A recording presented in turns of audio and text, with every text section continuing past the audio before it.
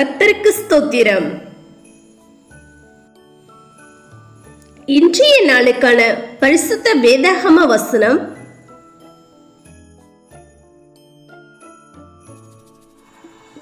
உத்தமர்களின் நாட்களை கர்த்தர் அறிந்திருக்கிறார்.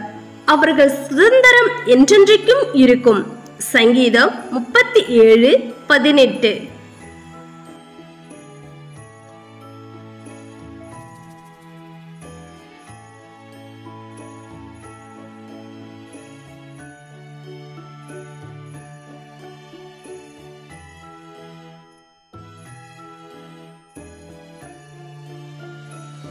Alleluia.